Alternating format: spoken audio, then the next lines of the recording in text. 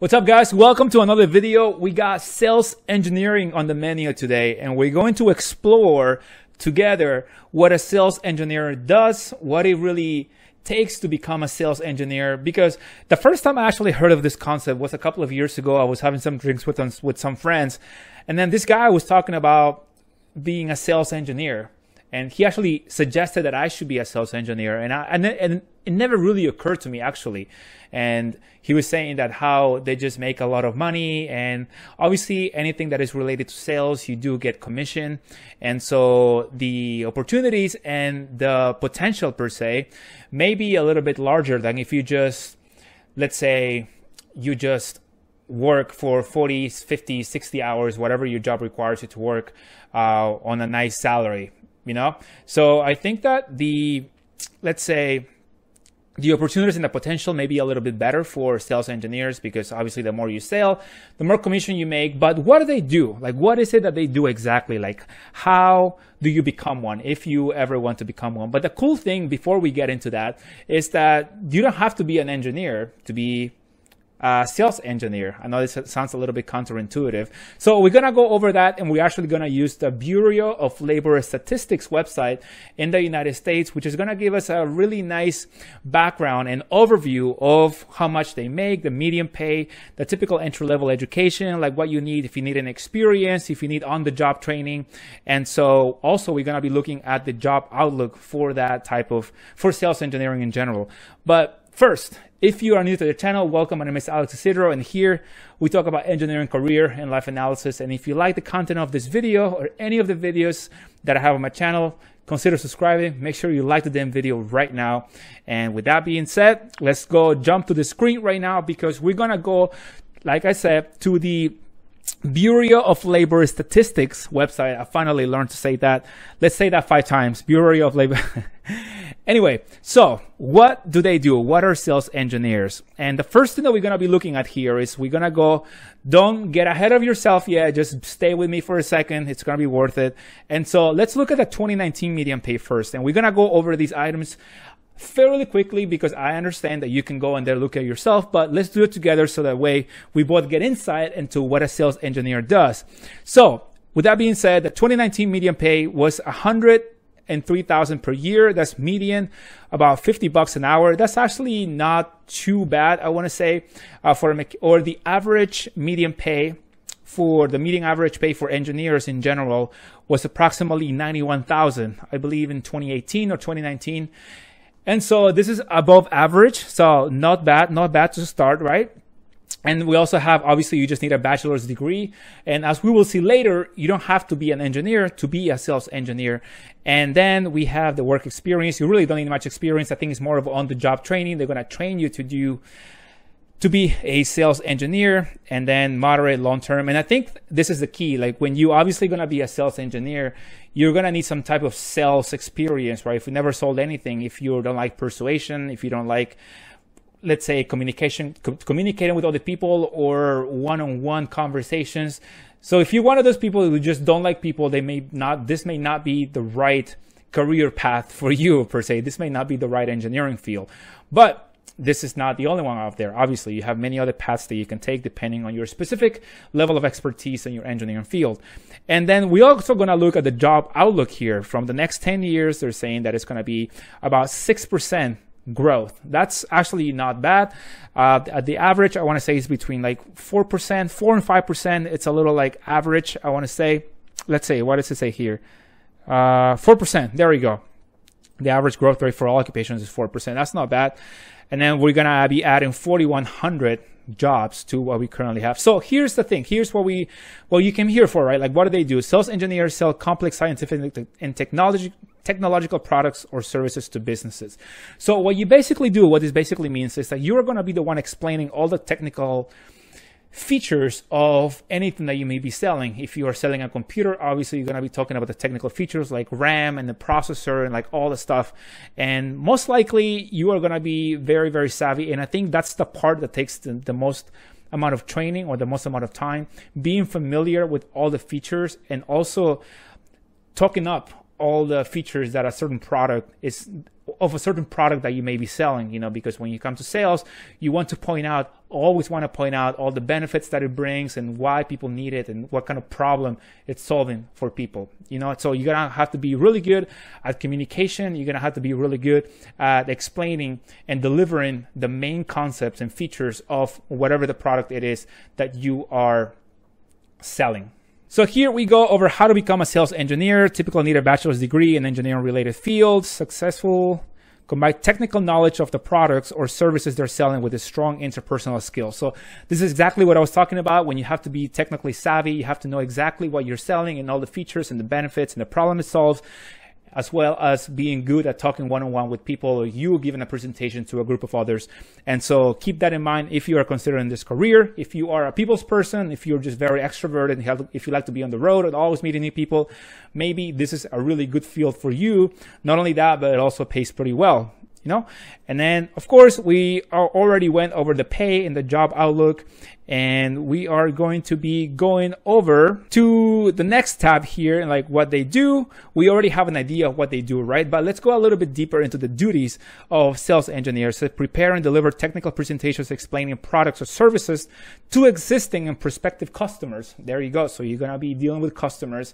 And then a lot of times you're going to have to be really careful and you have to be really good at delivering the message and being presentable and just establishing a good relationship and rapport. You know, I have a friend who is very good at sales, and he says that one of the main things he does is establish rapport, establish relationship with customers, and it's like telling a story.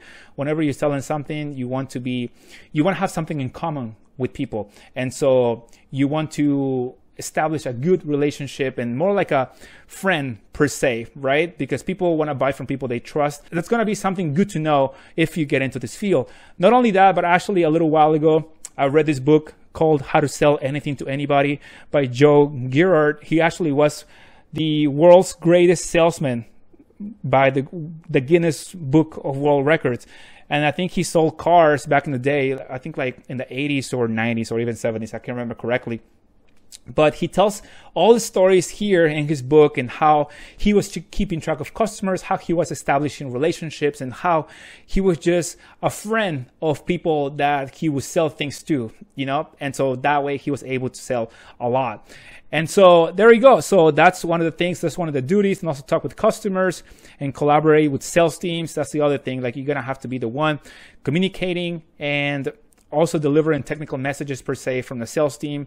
And so you're going to be a combination of technical and like this says, and marketing per se also, you know, in sales and secure and renew orders and arrange delivery and all this stuff that, I mean, this is, this is something that you can learn your own, plan and modify products to meet customer needs. Oh, this is actually a good one. Like if you need to like perhaps custom make something for a customer, they maybe they have a special request, you know, you can just go ahead and make those modifications. And also based on your technical experience, then you can give insight to the customer on whether or not something can be done because sometimes customers ask for ridiculous things and then you have to be able to tell them, hmm, let me see what I can do. Don't say no straight up, but tell them, let, let's see what you can do.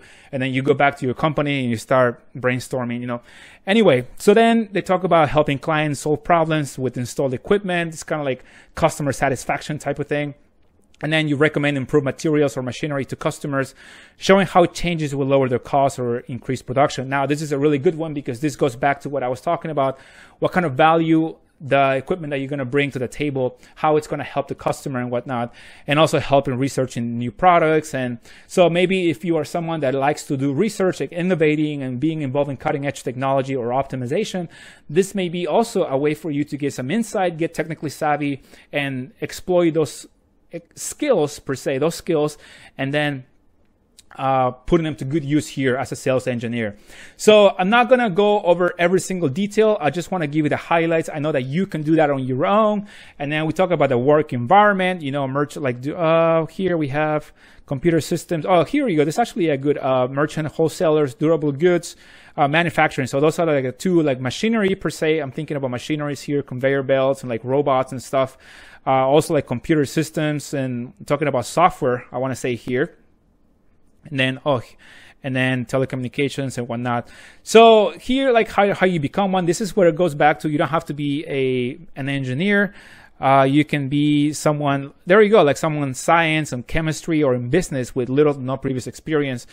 And again, I think the main part here comes in the training part, which the company is going to provide for you. And so, yeah. Now the pay, we already talked about the pay and we talked about, let's say, uh, oh, here it gives you the different types of markets per se and how much each one of them pays. And telecommunications seems to be the one that pays the most in 2019, blah, blah. Oh, here, check this out. The median wage for sales engineers was 103,000. The median wage is the blah, blah. And then the lowest 10% earned less than 59,000 59, and the highest 10%. So if you're a top earner per se, you can go up to $174,000. Now, if you're a really good salesperson, a really good sales engineer, and, and, let's say you have one or two years on the field and you're making 170,000, that's actually pretty damn good. And so you don't need a master's for it. You can just be trained on the field. And so man, if you are very young, starting in your career, this may be a really good path. If you just want to maximize the amount of money that you make, you know, this may be a pretty good path for you. So it's good that you are considering it if you're watching this video. And if you never consider it, maybe something to consider if you're just trying to maximize the amount of money that you make as an engineer. So that's one way. And then we already looked at the job outlook and how it's growing at 6% faster than the average. And then, of course, different states are going to have different trends, and you can go and explore that on your own because I encourage you to do your own research. This is just what I'm finding and what, I, and I'm, what I'm sharing with you. And then similar occupations in here, here we have like all the engineering industries, right? Like aerospace, computer hardware, electrical electronics engineers, like industrial engineers and whatnot. Insurance sales agents. Actually, one time an insurance company contacted me to work for them and afterwards, I realized that they were only looking for me because they wanted to tap into my network of engineers. And so after I learned this, it was very discouraging and I felt like I was being used, you know? And so anyway, I never really pursued that path, but it's something that I could have done in the past. If you're a sales engineer, most likely you're going to have, I want to say, an engineering degree. And some of these fields may not be applicable to you, but you do get the point. So, more information. Let's say what we got here. Now, if you want to do a little bit more research on your own, obviously I encourage you to do it, but I really hope this video gives you an idea and some insight of what sales engineers do and whether or not this may be a path for you going in the future. And like I said, I think that if you are someone that runs, runs into this position after graduation and then you become one of the top 10%, the top, top 10% sales engineers out there, man, you can make bank 170,000 tops. I mean, you, who knows? If you're great, you can make even more, right? And so that's all I want to share. So in conclusion, if you're someone that is highly extroverted, so, someone that likes to interact with others a lot, someone that likes to be in person and explore new industries per se and be technically savvy and perhaps innovate and make new recommendations for new designs and optimizations to machinery and just help people solve problems by selling them something by selling them something, selling them a product, and not only that, obviously you're gonna make a nice cut out of it. Then maybe sales engineering is a career that you can explore and consider for your long-term goals.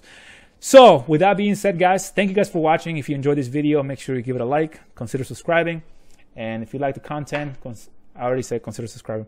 Anyway, I hope you guys enjoyed it. See you soon. Peace.